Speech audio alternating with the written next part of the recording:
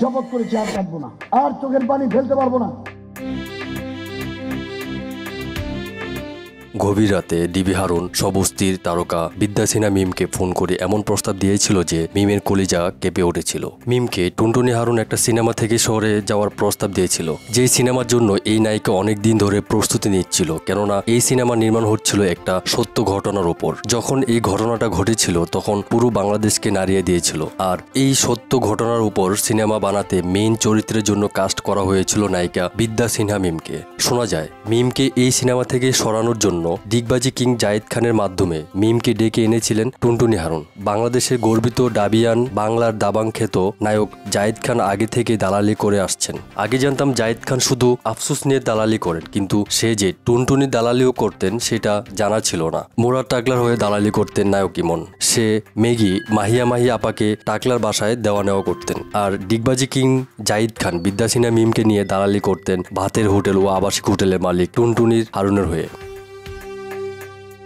টুনটুনি হারুন মিমকে বলেছিলেন, আপনারা এই সিনেমা থেকে সরে যেতে হবে। দরকার হলে আমাদের অফিসে অনেক সিনেমার গল্প পড়ে আছে, সেগুলো নিয়ে সিনেমা বানাতে পারেন। যে সিনেমা ভাতের হোটেলের মালিক হারুন ঠেকে দিচ্ছিল, সেই সিনেমার নাম ছিল আমি ইয়াসমিন বলছি।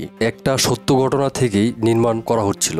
যে ঘটনা থেকে সিনেমাটি বানাতে হচ্ছিল, সেই ঘটনা শুনলে হয়তো আপনারও শরীরে নাড়া দিয়ে উঠতে পারে। উনিশশো পঁচানব্বই সালের তেইশে আগস্ট রাতে ঢাকা থেকে ছেড়ে যাওয়ার একটি বাসে করে দিনাজপুরের দশ মাইল মোড় এলাকার পৌঁছান ইয়াসমিন আক্তার নামের এক কিশোরী, যার বয়স আনুমানিক ষোলো বছর ছিল। ওই এলাকায় একটি পানির দোকানের সামনে তিনি দিনাজপুরগামী বাসের জন্য অপেক্ষা করছিলেন। তখন টহল পুলিশ একটি ভ্যান নিয়ে আসে এবং তাকে জোর করে দিনাজপুর পৌঁছে দেওয়ার কথা বলে নিয়ে যায়। কিন্তু পৌঁছে দেওয়ার নাম করে তারা মেয়েটাকে দর্শন করে মেরে ফেলে আর পরদিন সকালে তারা মরদেহ গোবিন্দপুর এলাকায় পাওয়া যায়। এই ঘটনার ফলে দিনাজপুরের মানুষ ক্ষুব্ধ হয়ে রাস্তায় নেমে আসেন এবং আন্দোলন গড়ে তোলেন। প্রতিবাদে পুলিশের গুলিবর্ষণে সাতজন নিহত হন এবং দু শতাধিক আহত হন, ফলে গোটা দেশে প্রতিবাদের আগুন ছড়িয়ে পড়ে। এই ঘটনা অবলম্বনে তৈরি হচ্ছিল আমি ইয়াসমিন বলছি সিনেমা। আর সেটাই রুখে দেওয়ার চেষ্টা করেছিল মিস্টার টুনটুনি।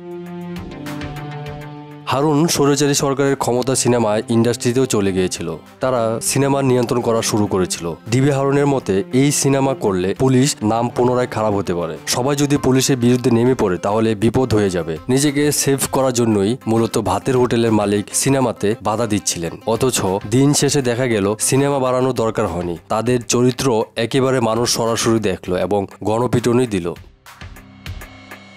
টুনটুনি হারুনদের কারণে মূলত আমাদের দেশের সিনেমা ইন্ডাস্ট্রি এখনও এত পিছিয়ে আছে। পরিচালকরা ভালো কোনো পরিকল্পনা করলেই সেখানে বাধা চলে আসে। তাহলে সিনেমা করবি বা কী করে? আপনারে বলুন, কমেন্টসে জানাবেন।